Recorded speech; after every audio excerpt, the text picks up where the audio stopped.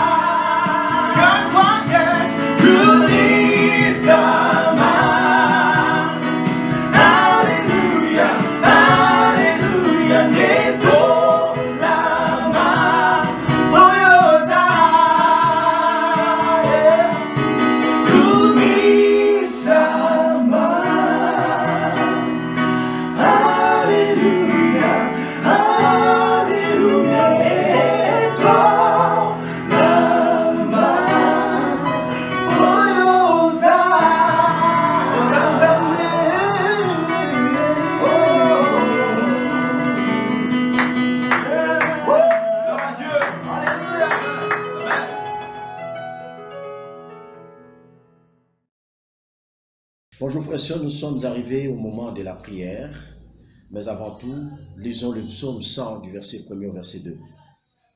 Acclamez le Seigneur, terre entière. Servez le Seigneur avec joie. Entrez en sa présence avec des cris de joie. Baissons nos têtes, prions. Éternel Dieu Tout-Puissant, Créateur des cieux et de la terre, Créateur du monde visible et invisible, nous te rendons grâce et te disons merci pour l'opportunité que tu nous donnes, la grâce que tu nous as faite de nous retrouver dans ces cultes, Seigneur. Merci, Papa, pour euh, le fait que tu es avec nous, tu nous assistes. Le Saint-Esprit est là, mais nous ne pouvons pas commencer ces cultes sans reconnaître, Seigneur, que la Bible dit que tu ne peux pas être mêlé avec, avec le mal, le péché. Voilà pourquoi nous reconnaissons avoir péché, Seigneur, de manière différente et nous te demandons pardon. S'il te plaît, Seigneur, pardonne-nous pour nos manquements, pour nos iniquités, pour nos péchés. Merci pour les pardons. Merci pour la sanctification, pour le sang de Jésus qui nous purifie. Père, je m'en vais recommander ce culte entre tes mains. Toutes les étapes, Seigneur, que tu interviennes, que tu le parraines, mon Dieu, mon roi, et que tu revêtes chaque intervenant de ton onction comme tu le voudras, Seigneur Dieu, afin de nous communiquer ce qui vient exactement de toi pour notre bien. Merci, Seigneur Dieu, de diriger les étapes. Merci également d'aider, Seigneur Dieu, les dirigeants de notre pays sur le plan politique à comprendre, Seigneur, qu'ils doivent tous converger dans la même direction pour chercher l'intérêt commun du pays. Politiquement, ça ne va pas. Nous te prions, Seigneur, pour les malades, dont la liste sera citée tout à l'heure. Mais nous te prions d'une manière générale que tu interviennes, Seigneur. Console ceux qui sont abattus et qui pleurent. Sois avec nous, Seigneur, et que le message que nous allons écouter ce matin nous aide à être fixés et continuer à être fixés sur toi.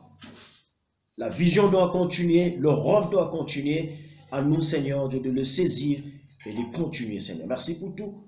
Honneur, gloire, louange, te soit rendu à notre Fils Jésus, notre Seigneur, sur notre ainsi prier. Amen.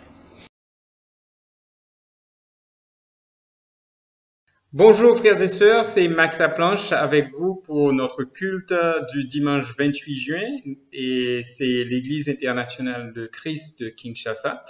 Nous sommes heureux de pouvoir euh, participer avec vous à ce culte. Merci de nous permettre d'entrer dans vos maisons, dans vos salons et avec votre famille et partager avec vous la parole du Seigneur. Euh, je serai aux annonces aujourd'hui et je vais commencer tout de suite.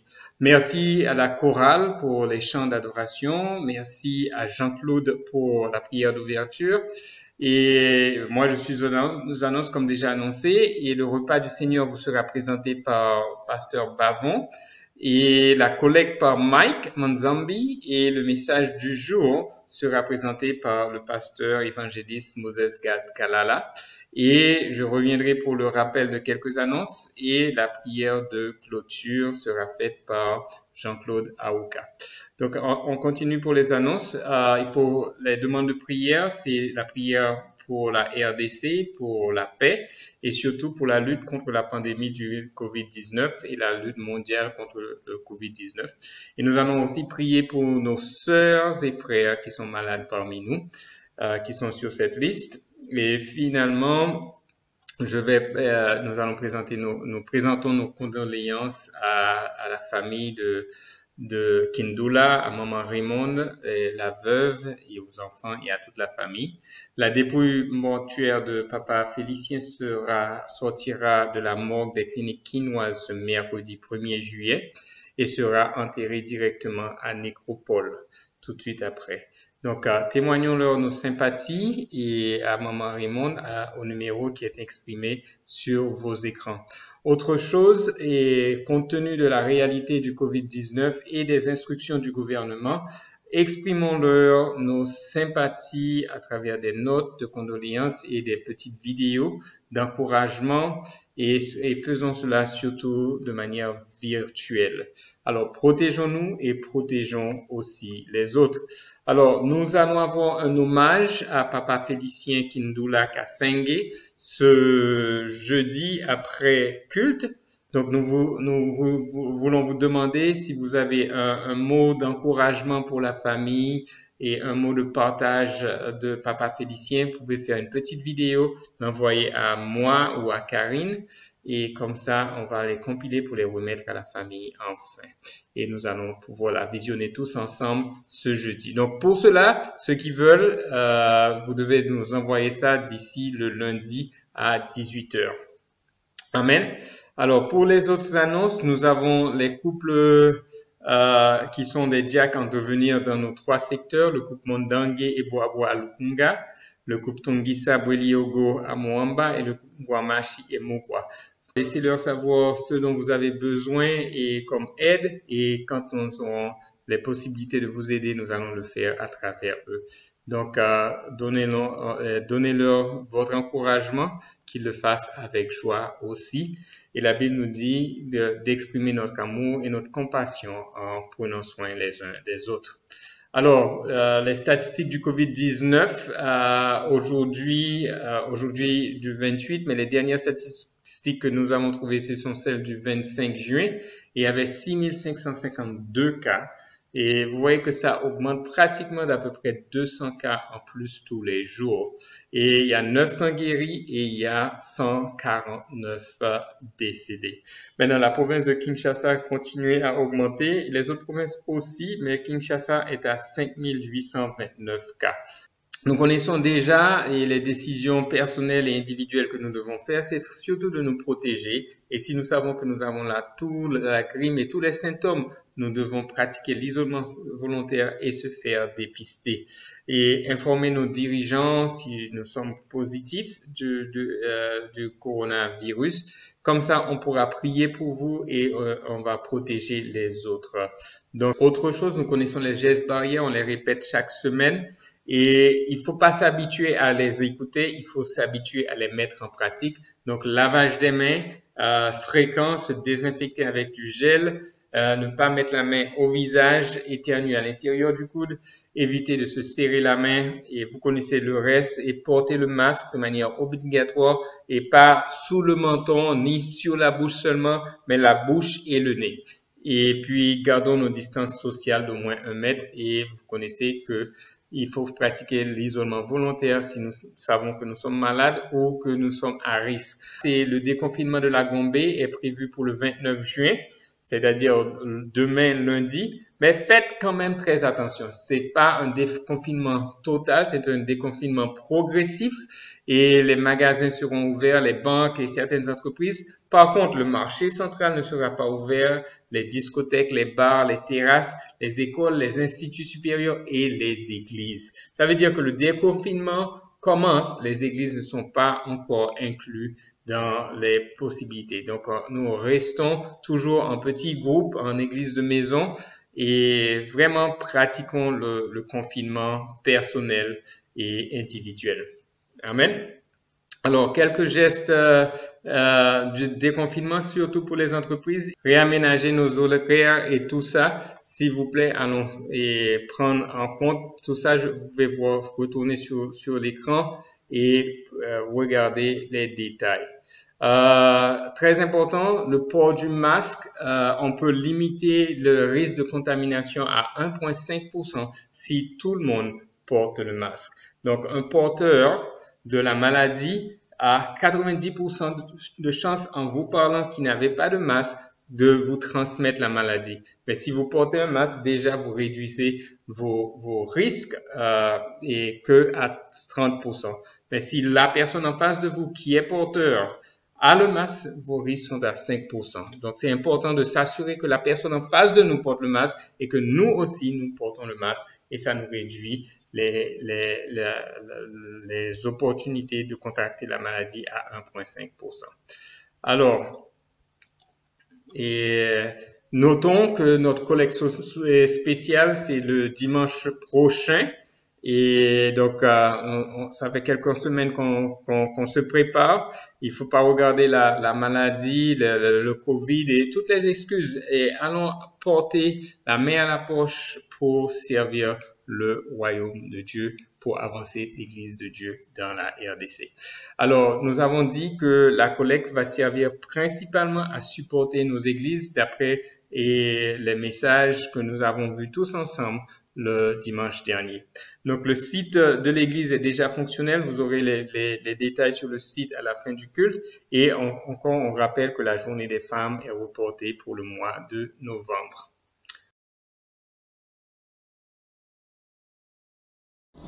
Frères, sœurs, bonjour. Nous sommes arrivés au moment le plus important de notre culte, le moment du repas du Seigneur. Et sans plus tarder, lisons les Saintes Écritures. Nous sommes dans les livres des Corinthiens, chapitre 5, du verset 14 au verset 15. La Bible dit Car l'amour du Christ nous presse, parce que nous estimons qu'un seul, que si un seul est mort pour tous, tous sont donc morts. Et qu'il est mort pour tous afin que ceux qui vivent ne vivent pas pour eux-mêmes, mais pour celui qui est mort et ressuscité pour eux. Frère, le petit homme que je vais exploiter ce matin est intitulé Que l'amour du Christ nous presse. Frère, dans ce contexte, Paul présente la mort du Christ comme l'expression d'un grand amour de Christ vis-à-vis d'un homme pécheur. Plusieurs ont péché et un seul a pris notre place. Il a, pris, il a payé le prix. Frère, Jésus a pris notre place, mourir pour détourner la colère de Dieu envers nous, cette colère qui a été provoquée par nos péchés. Paul dit que l'amour du Christ nous presse. Oui, il veut dire que l'amour du Christ nous domine. C'est que cette domination, frère soeur, doit nous amener, doit nous pousser à l'action, l'action de servir le Seigneur. Cet amour, frère soeur, manifesté sur la croix, doit nous pousser, doit nous donner le désir de servir le Seigneur. Qu'en est-il de nous ce matin, frère soeur Est-ce que l'amour du Christ nous domine? Est-ce que l'amour du Christ nous touche? Ou plutôt, nous sommes indifférents vis-à-vis de cet amour sacrificiel. Poussés par l'amour substitutif de Christ, nous ne devions pas vivre pour nous-mêmes, frères soeurs, mais pour celui qui est mort, ressuscité pour nous, à savoir Jésus-Christ. Frères soeurs, ce matin, je nous exhorte à ne pas être culpabilisés, frères soeurs, mais au moins que cette exhortation nous pousse ou nous amène à la repentance pour ne pas vivre pour nous, mais vivre pour Christ. Voilà le message d'exhortation que j'avais à nous porter ce matin. Que le Seigneur nous bénisse. Prions. Éternel notre Dieu, Papa, merci pour cette exhortation de ce matin qui nous amène à regarder, à se laisser dominer par cet amour substitutif du Christ, Seigneur notre Dieu. Oui, bientôt nous allons passer à la table, Seigneur, pour prendre le pain qui représente sa chair et le vin qui représente son sang. Laisse que cela ne nous cause pas du tort, que cela au moins nous pousse à ne pas vivre pour nous, mais vivre pour toi, Seigneur. Que ce moment nous soit bénéfique et que tout soit pour ta gloire. Au nom de Jésus-Christ, notre Seigneur, nous t'avons ainsi prié et nous disons Amen.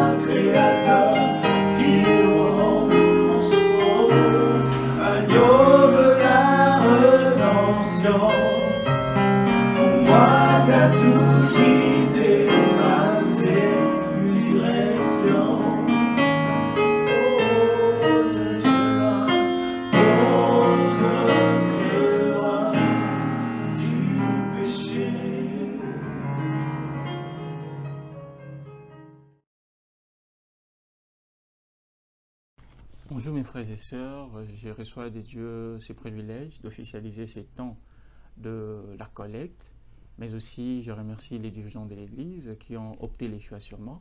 Sans plus tarder, nous allons prier avant de lire la Bible. Tendre Père, Dieu d'amour, Dieu paix, merci pour ce bon moment, merci pour ton amour, merci parce que tu as fait ces choix, que nous soyons parmi ceux qui vont penser à ton Église ce matin. Merci parce que tu vas volatiliser ma langue et tu vas mettre le mot juste à ma bouche afin d'encourager ton Église. Tout c'est pour ta gloire. Nous te disons merci dans le nom de notre Seigneur Jésus-Christ que je ainsi prie et je dis Amen. Ok, nous allons directement lire la Bible. Nous sommes dans le livre des psaumes 41, versets 2 à 4. La Bible dit ceci Errez celui qui s'intéresse aux pauvres.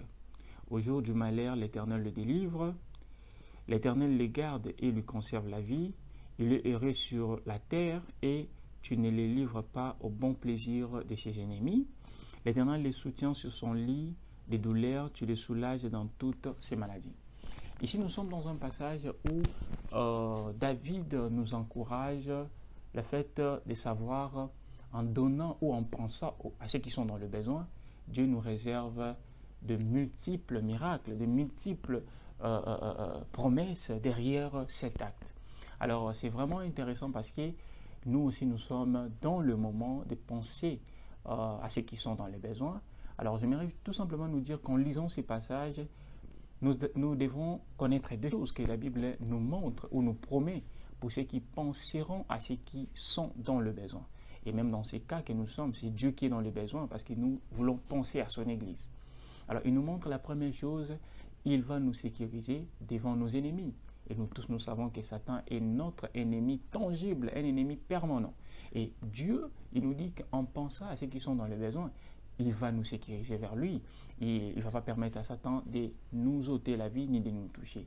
Et deuxièmement, il nous montre que en, en pensant à ceux qui sont dans le besoin, Dieu vient nous secourir pendant le moment que nous sommes sur le lit de l'hôpital. Oui, d'ailleurs, c'est tellement intéressant parce que nous sommes dans un moment de la pandémie. Il y a la maladie qu'on appelle aujourd'hui la coronavirus. Cette maladie, c'est une maladie qui tue. Alors l'Éternel nous montre que il va nous protéger, même si nous sommes atteints. L'Éternel est capable de venir de nous secourir sur le lit de l'hôpital. Ce qui vient, veut tout simplement nous montrer que ça, la, collecte devient tellement intéressante. Et là, nous, nous sommes tellement motivés de penser aux pauvres parce que Dieu nous réserve des énormes surprises en pensant aux pauvres. C'est vrai, avant, nous, nous les savons qu'en pensant aux pauvres, c'est qui pense aux autres, Dieu pense à lui, c'est qui pense, il donne aux autres, Dieu lui donne. Mais aujourd'hui, nous, nous, ajoutons dans, dans la connaissance que nous avons qu'en pensant à ceux qui sont dans les besoins, Dieu nous sécurise, Dieu éloigne la maladie au milieu de nous, et même si on est dans la maladie, Dieu est capable de nous guérir. Et je ferai ma péroration en disant, si nous voulons que l'Éternel intervienne dans notre vie, nous devons intervenir dans la vie des autres. Et si nous le faisons, la gloire sera rendue à Dieu. Et pour le faire, nous devons avoir un bon cœur, un cœur malléable, un cœur juste, un cœur honnête. Parce que lorsque nous donnons de bonnes choses à Dieu, l'Église va avancer, ceux qui vont gérer vont bien gérer. Mais si nous donnons les choses euh, de Dieu avec un cœur pas bien, un cœur pas propre, ça sera aussi difficile que ceux qui sont là pour gérer puisqu'il est bien géré. Parce que tout est géré par la spiritualité. Ayons un bon cœur, pensons à Dieu et Dieu va penser à nous dans le problème qu'on aura. Merci, nous allons prier pour donner notre collecte. Merci mon Dieu pour ces temps, merci parce que tu nous as montré les conséquences de ceux qui pensent à ceux qui sont dans les besoins. Donner euh, des données ou penser à ceux qui sont dans les besoins, nous pensons aussi à nous-mêmes parce que tu as vraiment de bénédictions que tu nous réserves derrière. Merci parce que nous avons saisi la quintessence de cette parole et nous allons se laisser faire parce que c'est aussi pour notre avantage. Merci pour tout, merci pour ceux qui en ont et ceux qui n'en ont pas, bénis-leur prochainement qu'ils puissent en avoir. Mais ce que tu regardes, c'est le cœur, c'est même pas encore l'acte. Merci pour nous avoir changé les cœurs afin que nous puissions te donner malléablement et d'un cœur sincère. Tout c'est pour ta gloire. Dans le nom de notre Seigneur Jésus-Christ que je prie et je dis merci Seigneur Jésus-Christ. Amen.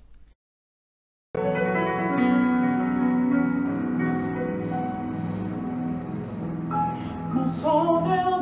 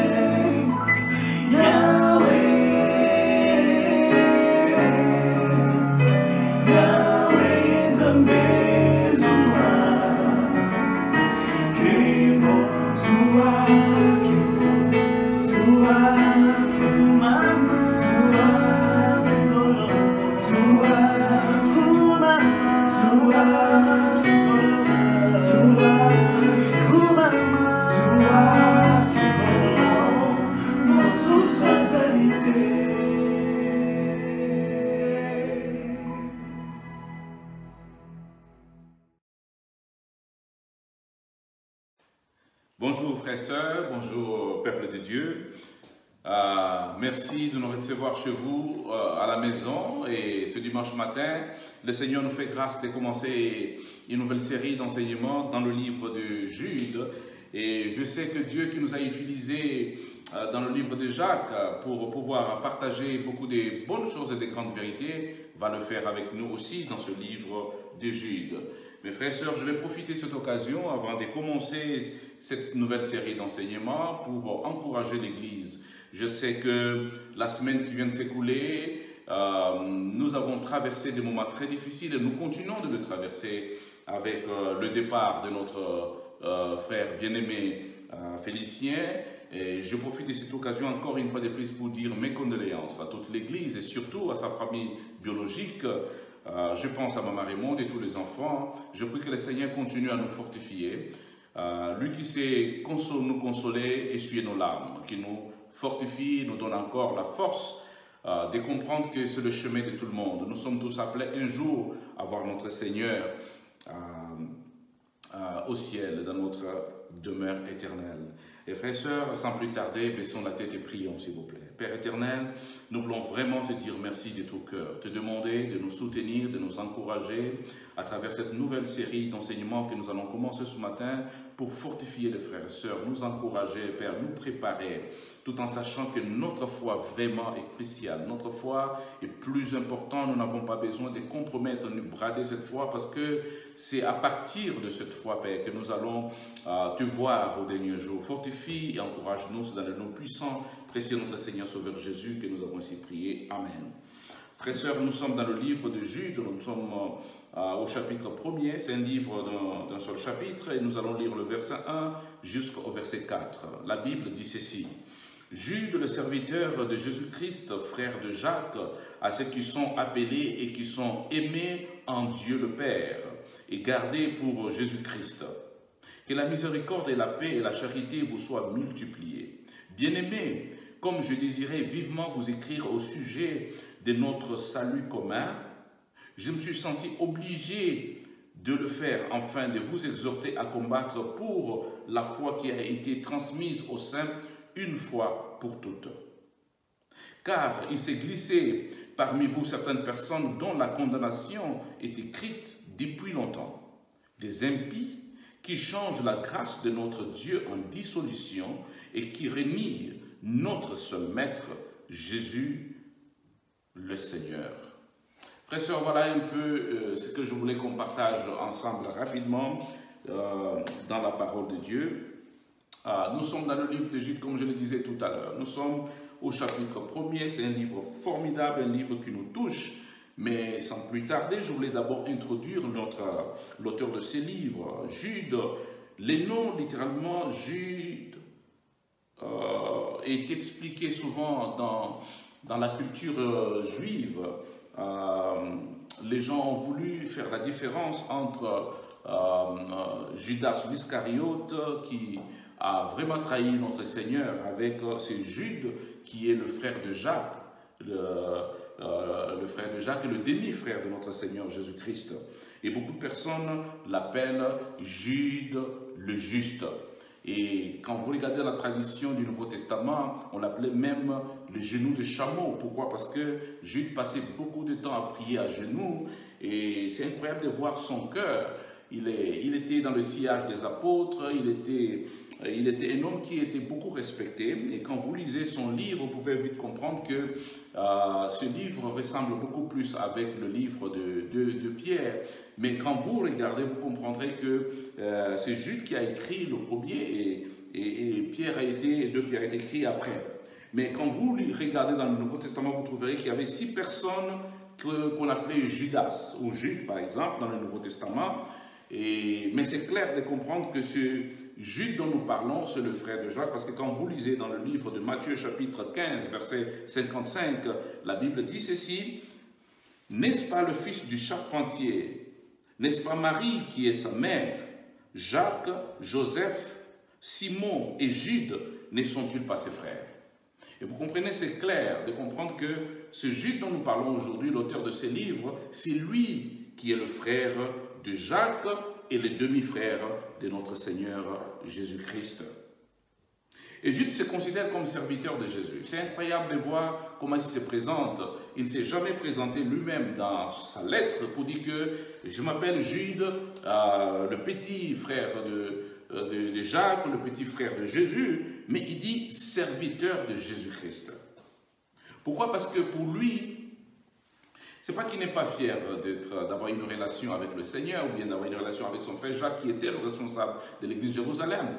Mais pour lui, la relation, la nouvelle relation qu'il a dans le Seigneur avec Jésus est plus importante que la relation euh, biologique. Alors, Ici, quelle est la leçon spirituelle que nous devons tirer? Nous devons comprendre que nous aussi, la relation spirituelle que nous avons aujourd'hui dans le Seigneur est plus importante que notre relation biologique que nous avons, la relation que nous avons par le sang. Nous pouvons avoir des parents dans l'église, nous pouvons avoir des frères biologiques, nous pouvons avoir des cousins, nous pouvons avoir toutes ces personnes. Mais Dieu nous amène à une autre dimension de comprendre que la relation spirituelle est au-dessus de cette relation de sang qui est une relation biologique. Pourquoi? Voilà pourquoi Jude, quand il se présente, il n'utilise pas le terme biologique pour dire écoutez, il utilise le terme spirituel, il dit je suis serviteur de Jésus. Et c'est là que le Seigneur veut nous montrer. Nous devons comprendre que Dieu nous appelle à le servir. Nous sommes tous des serviteurs. Nous devons être dans l'Église, chacun pour sa part. Nous devons le mettre au travail pour servir le Seigneur. Ça, c'est très important. Et Jude se présente comme ça. Et quand vous allez plus loin, vous partez même dans le livre de Marc, chapitre 3, versets 33 à 35. Qu'est-ce qu'il dit? Il dit, Jésus répondit, Qui est ma mère? Qui, qui sont mes frères Puis jeta le regard sur eux qui étaient assis autour de lui. Voici, dit-il, ma mère et mes frères, car quiconque fait la volonté de Dieu, celui-là est mon frère et ma soeur et ma mère. Alors vous comprenez, pour confirmer ce que je venais de dire tout à l'heure, c'est que pour Jésus lui-même, la relation biologique n'est pas plus importante. Ce qui est plus important, c'est la relation spirituelle. Et cette relation spirituelle est établie par le fait de faire la volonté de Dieu. Quand nous faisons la volonté de Dieu, et ça montre que nous sommes frères à Jésus. Et aujourd'hui, nous avons ce privilège. Nous sommes appelés enfants de Dieu, nous sommes appelés frères et sœurs. Mais qu'est-ce qui nous pousse à être ensemble? Qu'est-ce qui nous permet d'être ensemble? C'est le lien spirituel à travers le sang de Jésus-Christ. Frères nous devons comprendre cela. Et, et, quand vous partez plus loin, vous allez comprendre que la lettre est adressée aux chrétiens. Cette lettre est adressée aux chrétiens. Et cette lettre nous est adressée aujourd'hui aussi. Et quand vous regardez, il dit, il adresse aux chrétiens, et ces chrétiens sont identifiés d'une manière suivante. Quand vous partez au verset 3, vous allez voir, il dit, bien-aimé, comme j'ai considéré vivement vous écrire au sujet de notre salut commun, je me suis senti obligé de le faire afin de vous exhorter à combattre pour la foi. Ça, c'est très capital. Notre foi est très importante. Nous devons livrer la bataille pour cette foi. Mais plus loin, il dit, il s'adresse à qui? Il dit, à ceux qui sont appelés. À ceux qui sont appelés à ceux qui sont sanctifiés par Dieu le Père, et à ceux qui ont été préservés et gardés en Christ. Alors, un chrétien, c'est qui? Un chrétien, d'abord, c'est un appelé. Je suis chrétien parce que j'ai reçu l'appel de Dieu. Et tu es chrétien aussi parce que tu as reçu l'appel de Dieu. Et vous savez, si on nous appelle au téléphone, la première des choses que nous avons besoin de faire, c'est de, répondre à cet appel. Et c'est vrai, nous avons répondu à l'appel parce que quelqu'un nous a tendu une invitation dans la rue, quelqu'un nous a invité à l'église une fois. Et le fait de répondre à cet appel, nous sommes appelés, c'est Dieu qui nous a appelés aujourd'hui pour nous faire ce que nous sommes. Nous sommes devenus enfants de Dieu. Mais l'appellation que Jacques utilise dans ce livre, il dit, ceux qui ont été appelés, nous sommes appelés par Dieu. Nous sommes appelés par l'Évangile. Nous avons étudié la Bible. Le fait que nous étudions la Bible avec les gens, ce que nous sommes en train de passer, l'appel de Dieu. Dieu appelle tout le monde à venir à lui. La Bible dit clairement que personne ne viendra au Père sans que Dieu ne l'appelle ceux qui ont été sanctifiés. Nous sommes sanctifiés par le Père. Ça, c'est incroyable. Parce que la vie que nous sommes en train de vivre, ou le milieu que nous allons vivre, notre demeure, ce n'est pas, c'est pas, c'est pas le milieu de péché, c'est le milieu de sanctification. Dieu connaissant cela, il a pris le temps de nous sanctifier, pas à cause de notre propre euh, bonne pas à cause de notre propre force, mais Dieu, il a apporté la sanctification dans notre vie pour nous purifier, afin que nous héritions tous la nouvelle vie qui est la vie éternelle. Voilà pourquoi il utilise le terme sanctifier. Sanctifier, ça dit mise à part. Nous ne sommes plus des personnes qui se mélangent avec le monde ou avec Satan. Nous sommes mis à part. Dieu a pris le temps de nous mettre à part pour lui. Nous devenons une propriété privée de Dieu. Et c'est que chaque chrétien doit comprendre aujourd'hui que je ne suis plus n'importe qui. J'étais sanctifié par le Père, je suis mis à part pour lui. Et ça, c'est très important. Voilà comment Jacques est en train de nous identifier. Non seulement nous sommes appelés, et Jacques va plus loin pour dire que nous sommes mis à part pour Dieu. Et enfin, il dit, c'est qu'il a gardé en Christ. Ça, c'est incroyable, ça. Et là, cette phrase me donne la joie pour comprendre que je suis en sécurité, je suis protégé. Prenez l'exemple d'une petite sauterelle que tu peux mettre dans une bouteille claire et que tu le déposes au milieu de poules. Et ce qui va se passer, c'est que les poules vont chercher à attraper la sauterelle, mais la sauterelle est gardée dans une bouteille. Ils peuvent faire de, de, de, l'air simulacre autour de, de, la bouteille, chercher à attraper, mais ils n'arriveront même plus. Ils vont même pas arriver à le faire parce que la sauterelle est gardée dans la bouteille. Et nous sommes comme ça. En Christ, nous sommes sécurisés. Satan peut nous regarder de loin. Le péché peut nous regarder de loin. Les démons peuvent chercher à faire tout ce qu'ils veulent faire de nous, mais nous sommes gardés en Christ. Parce qu'en Christ, qui peut nous toucher? La Bible dit que c'est que je garde dans ma main. Qui peut toucher ce que le Seigneur garde dans sa main? Qui peut ouvrir la main de Dieu pour nous arracher dans la main du Seigneur? Alors Jacques nous décrit comme des appelés, Jacques nous décrit comme des sanctifiés, Jacques nous décrit comme des personnes gardés en Christ. Nous sommes en Jésus-Christ. Mais pourquoi Nous sommes en Christ pour, pour, pour, pour, euh, hériter la vie éternelle, pour voir Dieu au dernier jour? Mais quand nous sortons dans cette parcelle de sécurité, cette parcelle de, euh, où Dieu nous sécurise, nous sommes, nous sommes livrés à nous-mêmes. Nous sommes à la merci de l'ennemi. Voilà pourquoi nous devons rester à l'intérieur. Et une bonne manière de rester à l'intérieur, c'est de garder nos convictions, c'est de garder notre foi n'est pas brader cette foi-là, n'est pas compromettre. Beaucoup de personnes aujourd'hui sont allées, sont ceux qui veulent compromettre la foi, sont ceux qui veulent quitter la foi, ceux qui veulent abandonner. Nous devons rester dans la foi jusqu'à la fin de temps. Nous sommes appelés, sanctifiés, gardés, et nous devons combattre pour cette foi. Voilà pourquoi Jacques, sachant le danger qui guettait le chrétien, il a dit, je vais vous encourager, je vais vous exhorter à livrer la bataille. Et quand on parle de la foi ici, on ne parle pas simplement de, de, conviction de, de, notre, euh, de notre croyance en Dieu, ou bien on ne parle pas vraiment de, euh, euh, de, notre confiance que nous avons en Dieu, mais plutôt la foi dont on parle ici, c'est l'ensemble des vérités de l'Évangile, c'est l'ensemble des convictions. La Bible dit que la foi vient ce qu'on entend, ce qu'on entend, c'est la parole de Dieu. Et c'est ces convictions-là qui nous ont fait chrétiens aujourd'hui. Et nous devons livrer la bataille pour ne pas perdre ces convictions. Parce que quand nous perdons des convictions, nous sommes livrés à Satan. La bataille est rude. Si vous regardez dans l'histoire de l'Église primitive, vous allez voir que il y a des disciples qui ont donné leur vie pour le Seigneur. Simplement parce qu'ils n'ont pas voulu brader les convictions. Si vous regardez la persécution à l'époque de Néron, l'empereur de Rome, il y a des chrétiens qui ont accepté qu'on les brûle vifs. Ils ont refusé de compromettre. Il y a d'autres qui ont accepté d'aller dans, se battre avec des animaux féroces et ne pas céder parce qu'ils voulaient garder les convictions. Frères et sœurs, aujourd'hui, je voulais nous poser la question de savoir jusqu'où nous sommes capables de protéger nos convictions. Dans une période où tout a changé. Dans une période où les valeurs spirituelles sont bradées. Les valeurs morales sont bradées.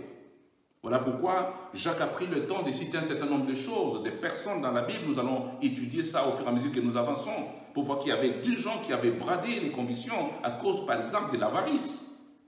Tu vois, à cause de la haine, par exemple, l'amour de l'argent. Aujourd'hui, les gens sont prêts à compromettre à cause de l'argent. Les gens peuvent mentir, les gens peuvent escroquer, les gens peuvent faire de copes, beaucoup de choses qu'ils sont en train de faire. Mais en faisant toutes ces choses, nous sommes en train de brader nos convictions. Aujourd'hui, la haine n'est plus quelque chose de, grave. Les gens sont prêts à supprimer la vie des autres à cause de la haine, à cause de la vengeance. Mais Jacques, Jude voyant cela, il dit, écoutez, il faut que j'encourage mes frères à comprendre que nous n'avons pas besoin de brader nos convictions. Frère, le moment est arrivé que nous comprenions que nous devons livrer cette bataille. Mais en faisant quoi? La bataille que nous allons livrer pour, la foi, nous devons témoigner sans faille nos convictions. L'occasion qu'on nous donnera de témoigner nos convictions, nous devons le faire. Nous devons livrer cette bataille en faisant quoi? En refusant de soutenir ou encourager ou à compromettre les convictions que nous avons reçues. Nous ne devons pas soutenir ou encourager ceux qui compromettent. Nous devons livrer cette bataille comment En vivant une vie digne de notre appel. Voilà trois choses que nous devons retenir et nous devons témoigner nos convictions sans faille, nous devons refuser de soutenir ou encourager ceux qui compromettent et nous devons vivre une vie digne de notre appel. Voilà ce que je voulais partager avec nous. Que Dieu nous bénisse. Amen. Amen. Euh, en fin de message, et merci encore de, nous rejoindre, en fin de message, nous aurons le message audio, le message transcrit de l'essentiel du message et un condensé SMS et qui sont disponibles pour vous pour pouvoir revisiter, revoir, réécouter et méditer à nouveau sur les messages. Donc, on vous encourage à visiter toutes les formes de, révision du message. Et pour nos enfants, on encourage à télécharger l'application la Bible pour enfants. C'est aussi en français. Et, finalement, je veux vous encourager à, la collecte. Nous allons, euh, ce que nous aurons collecté, nous pouvons le transférer aux administrateurs de l'Église par Orange Money à ce numéro sur vos écrans et par M-Pesa. Donc sur ce, je laisse la parole à Jean-Claude qui va faire la prière de clôture. Baissons nos têtes pour clôturer euh, notre culte. Père, merci pour ton amour, merci pour ta bonté, surtout ta fidélité et ta grâce. Merci pour ces cultes que nous venons de passer dans ta présence. Merci Seigneur pour le message qui a touché nos cœurs. Aide-nous, s'il te plaît, à pouvoir l'appliquer. Vivre ces messages serait, Seigneur, un réel plaisir et un signe d'obéissance et d'amour à ton endroit. Bénis le prédicateur du, du jour et que, Seigneur Dieu, tu le combles de tout. Sois avec chacun de nous et si tu nous permets de nous retrouver le jeudi et le dimanche prochain, honneur, louange, gloire te reviendront. Au nom puissant de ton Fils Jésus, notre Seigneur, Sauveur, de ta prier. Amen.